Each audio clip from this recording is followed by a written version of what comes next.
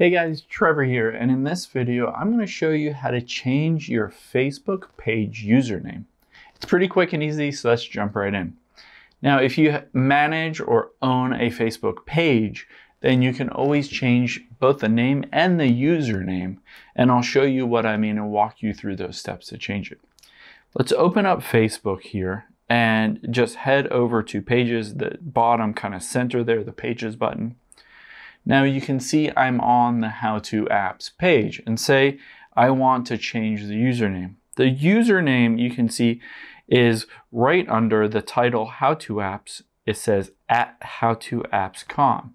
So that is my username that I can change if I want to, if I've say rebranded the page and want to change that. So what I will do to change it is I will scroll down a bit and you can see where it says home posts videos. I will scroll all the way over. Oh, sorry, that's the wrong one. At the very top here, you can see overview, ads, inbox.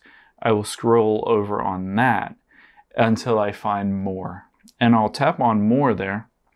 And then once you're there, you will scroll down until you see page controls and you will tap on edit page. So tap on edit page and you might be dis, you know, kind of dissuaded from doing the page info or um, you know, think that might be where the change username is, but actually it's in page header, the very first option. So we'll go to page header here and it doesn't show you an edit button, but we can tap on the username right here at howtoapps.com.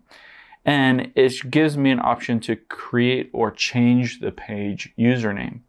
So it says warning message when you change your page's username, you also change your page's URL. This may affect web traffic, update your URL on external websites. So I can tap here and I can say if I want to take out the COM, the com at the end it says this username isn't available. Enter a username that isn't taken already.